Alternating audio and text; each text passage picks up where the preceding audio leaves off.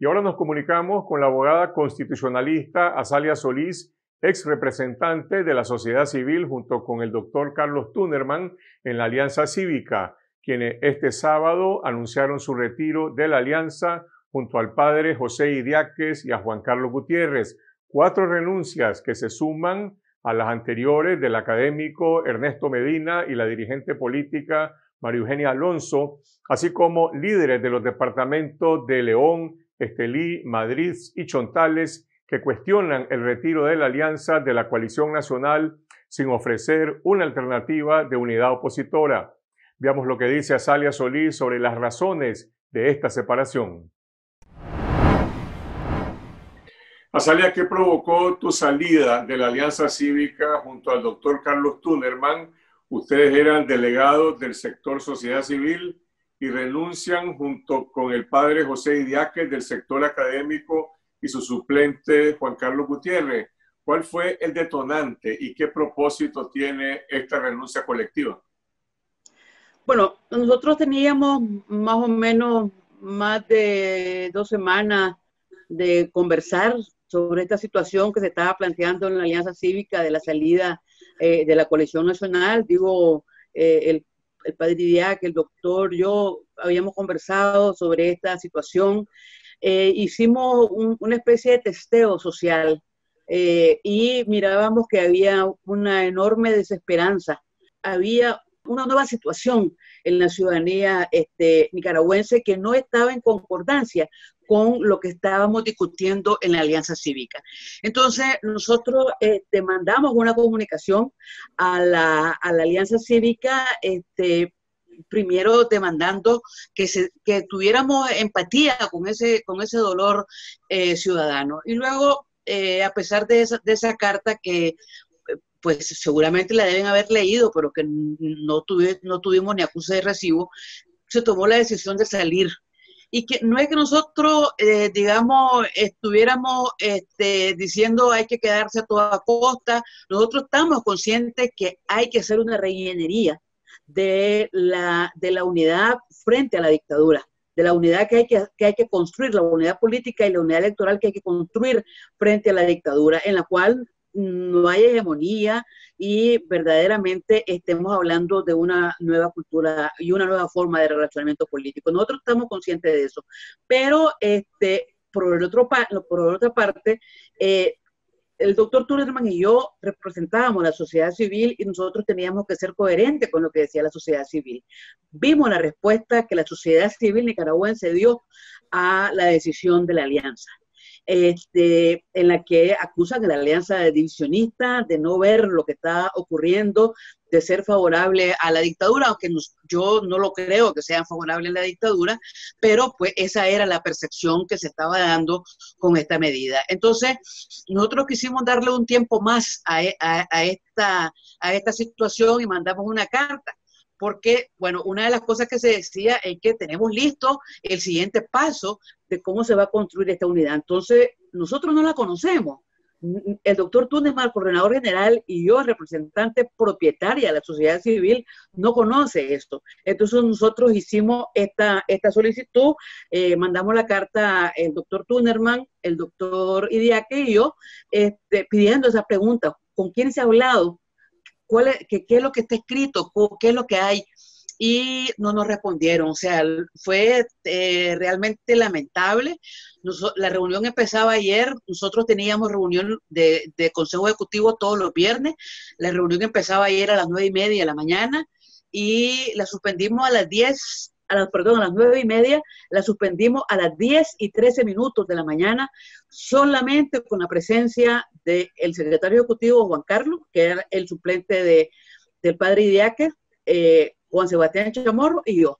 O sea, no hubo quórum, no hubo quórum no, para esa reunión ni nos respondieron. Entonces nosotros pensamos este, que no hay estrategia para el día después y que nosotros tenemos una responsabilidad frente a la ciudadanía y por lo tanto tenemos que actuar en consecuencia con eso. Y este jueves hicieron esas preguntas específicas, es decir, cuál es la estrategia unitaria con quién se ha reunido la alianza o con quién planea reunirse o cuáles son las organizaciones con las que están trabajando o conversando para desarrollar esa plataforma amplia, unitaria e inclusiva que se dijo el lunes pasado.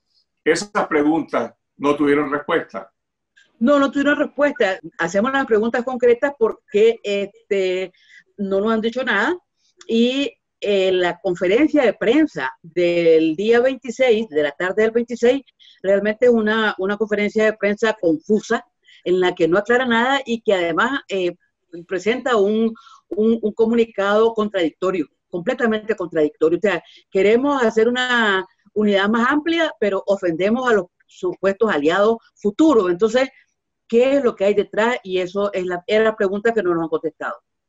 Te preguntaba cuál es el objetivo de una renuncia colectiva, emplazando públicamente a la alianza, emplazando eh, al movimiento opositor. Antes de ustedes renunció el académico Ernesto Medina, la dirigente política de León, María Eugenia Alonso, junto con otros líderes de la alianza en los departamentos de León, de Chontales, de Madrid y Estelí, que han revelado que van a mantenerse y a integrarse en la coalición nacional, según dice ahora la coalición, bajo otra denominación política, no como alianza cívica. Ustedes, el doctor Tunerman, tu persona, el padre Idiáquez, al renunciar forman parte de ese proceso de miembros de la alianza que ahora plantean integrarse en la coalición. Nosotros lo que hemos decidido hasta el momento eh, estoy hablando del padre Idiaque, del doctor Tunerman, eh, de Juan Carlos Gutiérrez y yo, es mantenernos en un grupo. ¿verdad? Nosotros eh, en los próximos días vamos a tener distintas reuniones este, sobre el, lo, nuestro, nuestro accionar, porque nosotros no, o sea, nosotros no hemos dejado de hacer las cosas que hemos hecho eh, siempre relacionadas con los derechos humanos, con, eh, con, el derecho humanitario y en estas circunstancias relacionadas con la libertad, liberación de presos políticos, con la defensa de presos políticos, eh, con que se pueda haber la apertura de las libertades en Nicaragua. Nosotros tenemos esos espacios para, para eso, pero en, en, principio hemos decidido mantenernos con un bloque em, y, por supuesto, esto implica conversaciones tanto con la coalición como con la misma alianza cívica, porque nosotros no nos hemos peleado con la alianza cívica y nosotros no queremos el debilitamiento de la alianza cívica y nosotros no queremos que la alianza cívica se destruya. O sea, nosotros queremos que cada espacio, cada espacio de la oposición eh, sea fuerte, a, todo lo contrario, porque sea fuerte y que podamos eventualmente eh, volver a confluir todo en ese frente común eh, contra la dictadura. ¿Cuál ha sido el impacto real, el impacto político real de la separación de la alianza cívica de la coalición en los departamentos, en la base azul y blanca de la alianza, en los departamentos y en los municipios? Eh, cuando se anunció esto el lunes pasado, posteriormente algunos líderes, he mencionado cuatro departamentos y de otros más, anunciaron que eh, rechazaban esa decisión y que se mantendrían en la coalición. Los disidentes dicen que ellos representan el 90% de las estructuras de la alianza. La alianza dice que se trata de dos directivas completas, la de Estelí y la de Madrid, y de algunos líderes de León y de Chontales, pero que representan menos de un tercio de los representantes o delegados de la alianza en los departamentos y los municipios. ¿Cuál ha sido el impacto político real? Mira, yo creo que esto no es un asunto de aritmética, porque si fuera un, un simple asunto de aritmética, te puedo decir que en septiembre que nos reunimos con eh, sectores, eh, eh, con distintas expresiones territoriales de la Alianza Cívica, en, en, su inmensa mayoría dijeron que no estaban de acuerdo con la salida de la coalición. Y ahí, en esta ocasión, hay personas que hasta el momento no se han salido o, o no se van a salir de la alianza, pero en esa ocasión dijeron que no estaban de acuerdo. Entonces, eh, yo, no, yo no lo limitaría exclusivamente al, tema de, la, de, las expresiones territoriales de la alianza. Yo creo que hay que ver la reacción eh, del país, la reacción de los distintos sectores sociales, políticos y económicos eh, del país, no solamente las expresiones territoriales. Y la otra cosa que yo quisiera este, recordar es que en el año 2019, antes de la pandemia y aún en medio de la represión, nosotros fuimos a diversos lugares del país, eh, del norte, del sur, del centro del país, este, y varias de las, y lo hicimos en conjunto con la Unidad Nacional, porque una de las cosas que la gente nos dijo, no queremos que vengan solos, que los queremos que vengan juntos. Pero en ese momento todavía no estaba formada la coalición y eh, en Estelí, por ejemplo, nos invitaron a, llegar y nos dijeron, pero vengan acompañados, que no venga solo la alianza ni que venga solo unidad, vengamos juntos. Lo que les quiero decir es que, y, y, nos lo han recordado en estos días de diversa manera, es que en los distintos lugares, vamos a llamarle solamente por razones metodológicas de las bases, hay unidad. Hay unidad, este, unidad frente a la dictadura y este, en, en, lugares eh, en los que se ha formado la coalición, que se han formado espacios de la coalición, se ha integrado gente de la Alianza Cívica. Igual ocurrió en otro momento cuando se integraron eh, espacios eh, territoriales de la Unidad Nacional, también se integraron gente de la Alianza Cívica. O sea, yo creo que esto es más allá que un asunto de un tercio o de un, o un 90%. Yo creo que eh, tiene que ver con las realidades de cada, de cada municipio y con las ansias que hay a nivel de cada, de cada municipio de juntarse con, con, los que están en contra de la dictadura para poder tener este, juntos una mejor defensa. Pasaría antes de este retiro de la sociedad civil y de los delegados del sector académico de la Alianza, se había producido eh, la salida o la renuncia del movimiento campesino primero o del movimiento que representa Sandra Ramos de Mujeres María Elena Cuadra y también de otros representantes eh, del sector político de la alianza. Hoy en la alianza cívica hay una hegemonía del sector empresarial con uno de los grupos de jóvenes del movimiento de abril. ¿cuál es, el, cuál es la representatividad o el pluralismo original que esta organización tenía en el año 2018, 2019, que representa hoy?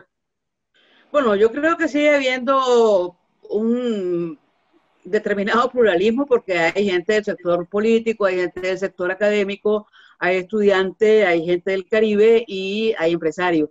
Pero sí, pues yo creo que hay una diversidad este, que en este momento no, no está, que está relacionada con la sociedad, principalmente con la sociedad civil este, y con el movimiento campesino. ¿verdad? O sea, yo creo que, que hay una, un decrecimiento de esa diversidad no, quiero decir que no, se pueda reconstituir una diversidad eh, en ese sentido, pero creo que en este momento eh, la diversidad del 24 de abril de 2018 es, un poquito diferente. El proyecto político original de la alianza, eh, una vez que se agota la primera etapa del proceso de negociación, la segunda etapa del proceso de negociación y dicen vamos a promover una plataforma política, primero con la Unidad Nacional, se retiran de la Unidad Nacional, promueven entonces la coalición nacional. Ese proyecto político está basado en la premisa de que la alianza va a controlar, a hegemonizar, a dirigir o va a incidir en ese proceso eh, sin tener un control predeterminado de los resultados políticos. Bueno, yo creo que yo creo que a esta altura lo que ha ocurrido desde el 26 de octubre hasta hoy eh, creo que debe hacer reflexionar al interno de la alianza. Yo sí creo que la alianza debe jugar un papel en, en, en, esta, en estas circunstancias políticas. Es una organización que surgió de abril, tiene la experiencia de mayo del 2018 y la experiencia de febrero del 2019, eh, reconocimiento a, nivel internacional, ha tenido eh, la capacidad de, de, gestionar una, una, diversidad. Y yo creo que ahora le toca reflexionar en este, en este momento en el cual eh, no, deben haber, no, no deben haber hegemonía, ni, ni, deben haber agendas ocultas. Y que lo que ocurrió, hay que saber leer lo que ocurrió en abril del 2018, de 2018 y que es un rechazo a esa, pues a, esa cultura política hegemónica, excluyente y de, y de cartas ocultas. Entonces creo que es, momento de reflexionar y yo espero que, yo espero que lo hagan y que muy pronto podamos estar todos de nuevo eh, empujando esta carreta este, de la política contra la dictadura. ¿Cuáles son los siguientes pasos de la oposición? La salida de la alianza, de la coalición, generó una primera crisis. La salida de miembros de la alianza, como el doctor Medina, Mario Eugenia Alonso, líderes territoriales, y ahora ustedes, representantes de la sociedad civil y el sector académico, también debilita a esta organización, pero por el otro lado, en la coalición no hay tampoco una definición clara, digamos, que le devuelva a la población, a la mayoría azul y blanco, una esperanza de organización para enfrentar esos embates de la dictadura que eh, estabas mencionando hace un momento. Entonces, la gente dice, bueno, eh, ¿para dónde vamos? Es decir, estamos atravesando un momento de inercia y, si se quiere, de completa desesperanza de la población en los liderazgos opositores. Bueno, nosotros hemos estado este, hoy toda la mañana, por eso es que algunas entrevistas yo no he podido atenderla, aparte de, otras cuestiones personales, este, atendiendo, eh, ya, haciendo llamadas con distintos uh, liderazgos eh, políticos y sociales, porque la verdad es que tenemos que actuar rapidísimo. O sea, no, puede, no podemos dejar un vacío, no podemos eh, para nada dejar, o sea, este, e, esta situación de incertidumbre, la reacción tiene que ser ya. O sea, no es esperar hasta el miércoles o esperar hasta el jueves, es ya. Y, este, y creo que hay una cierta eh, convencimiento de que debemos hacer una reingeniería eh, de, en relación a cuál es el vehículo eh, político y electoral que necesitamos y que la ciudadanía lo asuma, que eso es lo más importante, o sea, no, no lo bonito que hagamos los estatutos, no lo bonito que hagamos eh, la agenda, que lo más importante de eso es que tengamos credibilidad y que eh, tengamos conexión con la ciudadanía, eso es lo más importante. Si la alianza hoy tiene un perfil bastante más definido de representación de los liderazgos del sector privado que quieren incidir en, en la política y por el otro lado el perfil de la coalición es cada vez más confuso entre partidos políticos y movimientos sociales. Es decir, ¿hay acaso algún otro polo opositor o es posible que estas diferentes expresiones tengan, al menos, dice la gente, un sentido de, de plataforma de unidad en la acción? Exactamente, es que yo creo que e, e, ese es el primer paso, que tengamos la, posibilidad de hacer cosas en conjunto, este, si no es posible más, pero yo creo que tenemos que hacer el esfuerzo de hacer más que eso. Yo creo que, o sea, no, e, esto no puede quedar en, el vacío, en retórica, tenemos que hacer más que eso, o sea, no, es imperdonable, absolutamente imperdonable este, no deponer eh, los egos, no deponer los intereses este, particulares. Estamos en una situación complicada. La, la, la, la, dictadura está recomponiéndose para reprimir más, no, no está recomponiéndose para dar condiciones eh, electorales del próximo año. Entonces, este tener inteligencia y, y, y, por lo menos capacidad de defensa. Todo este cisma y esta fragmentación se da en nombre de frases hechas, clichés muy bonitas y todos dicen que están haciendo lo que hacen en nombre de una nueva forma de hacer política. Lo que la gente ve es fragmentación, lo que la gente ve es intereses de control, de hegemonía, ya sea de partidos políticos, ya sea incluso de movimientos cívicos, de movimientos empresariales. Sí, no, no, es detestable esa retórica de la nueva acción política o, o como se dice, por los muertos de abril hago tal cosa. Por favor, eso es horrible, es, condenable incluso que se haga semejante cosa cuando se, se practica eh, política antigua. Yo creo que que no debemos dejar de hablar, o sea, te estoy, diciendo que toda la mañana de hoy eh, se ha estado en conversaciones con diferentes eh, personas para rápidamente reaccionar a esta, a esta situación de que no puede haber ese, de, que no puede haber ese vacío. Y que, bueno, si lo primero que podemos hacer es acciones en conjunto, pues a eso vamos, pero creo que tiene que ser más allá de eso. Hay una crisis hoy de la oposición que se agrega al vacío de poder que hay en el país. Yo creo que sí, que hay una crisis de, yo creo, creo, creo que sí, que hay una crisis de la oposición, eh, principalmente por no saber leer eh, eh, qué es lo que la ciudadanía demanda.